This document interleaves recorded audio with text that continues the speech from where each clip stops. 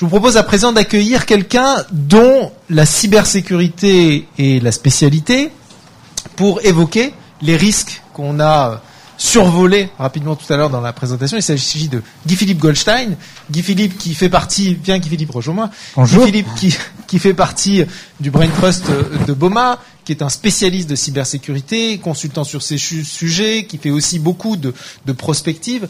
Euh, Qu'est-ce qu'on peut dire des risques cyber depuis euh, la crise sanitaire? Est-ce qu'ils ont évolué particulièrement? Est-ce qu'ils ont explosé? On a eu des chiffres dans la présentation. Qu'est-ce qu'on peut dire de ces risques? Très clairement, ils ont explosé. Euh, les chiffres, euh, en gros, l'ANSI, l'Agence nationale pour la sécurité des systèmes d'information, l'année dernière, évoquait une augmentation de 255% du nombre de rançongiciels. Quand on regarde euh, qui est une plateforme française de, de, récupération de tous les incidents, eux, ils étaient à autour de x3. Aux États-Unis, la plateforme équivalente du FBI était à x4. Ça, c'est euh, la différence entre 2019 et 2020 pour donner un, ordre de grandeur.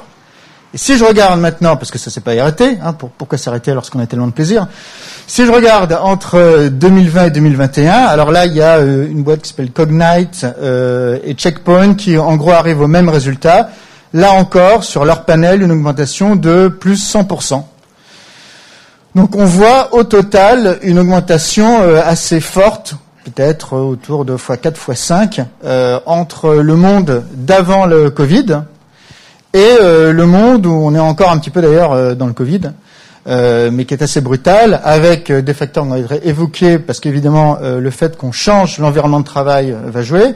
Il faut dire aussi qu'il y a également des facteurs géopolitiques. il y a une convergence de choses qui font que voilà, on a eu cette explosion. Donc oui, on est dans un monde différent maintenant en termes de cybersécurité. Et, concrètement, quand on est une euh, petite PME, une PME moyenne, même pas même pas un grand groupe, parce que j'imagine que les grands groupes ont les moyens de se prémunir. En tout cas, ils ont plus de facilité à aborder la question que des PME. On posera la question euh, peut-être tout à l'heure. Euh, Qu'est-ce qu'on peut faire pour se prémunir très concrètement hein? Alors très concrètement, et peut-être que je vais adhérer un petit peu plus au thème euh, de, du nouvel environnement de travail. Euh, parce que c'est un des facteurs principaux de cette explosion. Hein. Je donne juste un exemple. Euh, alors c'était du premier semestre 2020, on a vu une augmentation de fois 600% de l'utilisation de tout ce qui est plateforme de télétravail en ligne. Et euh, McAfee, euh, euh, qui est une, un, vendeur de, de, cybersécurité, a identifié une augmentation de plus 630%, donc vraiment le, le même rapport sur le nombre d'attaques contre des comptes cloud, des serveurs de comptes cloud. Bon, donc on voit des augmentations qui sont comparables et qui sont liées à cette transformation, cette numérisation de l'espace de travail qui est liée en grande partie à la pandémie. Donc là-dessus, euh, bah, comme toute chose, euh, il y a plusieurs éléments, euh, points clés euh, à réaliser. D'une part, il ben, faut bien comprendre la menace et pourquoi on a tout d'un coup cette éruption. Il y a des choses qu'on ne peut pas contrôler. Si les Russes tout d'un coup veulent s'amuser avec des entreprises occidentales, ça, a priori, c'est pas de notre sort.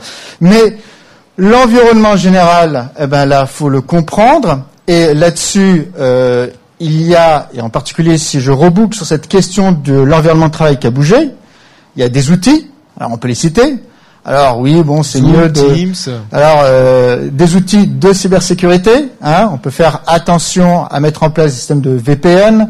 On peut avoir des authentifications euh, plus fortes. Ça marche toujours quand on a eu ce mouvement euh, de euh, tout le monde va commencer à travailler depuis chez soi, bah, quand on le fait avec euh, ses propres ordinateurs, hein, qui sont parfois partagés avec les enfants, ou avec sa femme, ou avec son mari, ou quand on utilise son téléphone mobile, qui est, à nouveau l'outil domestique, ça, ça peut être extrêmement dangereux, parce qu'ils peuvent être déjà compromis. Donc il y a là aussi les nécessités, quand on veut être une entreprise responsable et qu'on a des éléments très sensibles qui sont en train de transiter, de donner un matériel propre pour la communication d'entreprise. Bon, ça c'est les outils. Mais je voudrais beaucoup insister sur les aspects de procédure et de culture.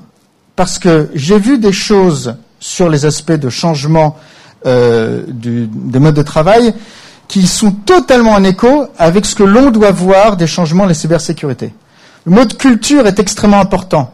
Gene Habiger, qui était euh, l'ancien, euh, un des anciens patrons de l'US Command et qui dirigeait la sécurité de, du département of Energy, là où il y avait euh, tout le développement nucléaire militaire et civil aux États-Unis, enfin de, de, de, pointe, disait la sécurité, c'est 20% d'équipement, 80% de culture.